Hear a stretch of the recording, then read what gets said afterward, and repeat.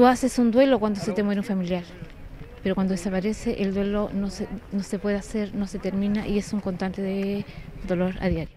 Año a año estas personas se reúnen en el frontis del Cementerio General de Concepción.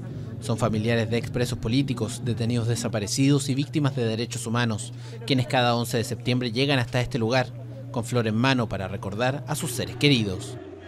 Los que nos han acompañado 40 años visitando a nuestros muertos aquí en este cementerio, saben lo que significa este dolor. Es un dolor, una impotencia, porque en Chile no se ha hecho justicia. Tuvieron además un motivo especial para llegar hasta acá, es que se cumplieron 40 años del golpe militar que terminó con el gobierno de Salvador Allende el 11 de septiembre de 1973.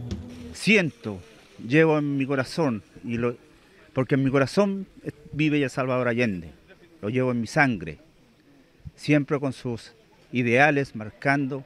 Pero además estuvieron acompañados del alcalde de la comuna y algunos conglomerados políticos.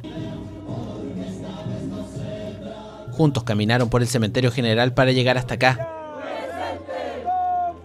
Cerrar las heridas provocadas por esta tragedia.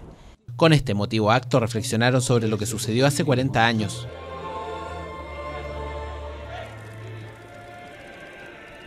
Luego procedieron a colocar la primera piedra del memorial en tributo a las víctimas de violaciones a los derechos humanos durante el régimen militar. 40 años de un momento triste un momento doloroso para nuestro país.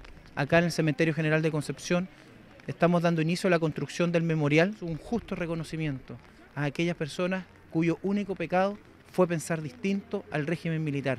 Nunca más en Chile, un país dividido, y que las futuras generaciones aprendan también de los errores que se vivieron años atrás. Un espacio que no existía en la comuna y que fue agradecido por los familiares de las víctimas. Mira, en pocas palabras, es lo que hemos esperado durante muchos años, muchos años, nosotros el 74, en que venimos aquí al cementerio, a la fosa común, a dejar flores a nuestros compañeros detenidos, desaparecidos y ejecutados políticos.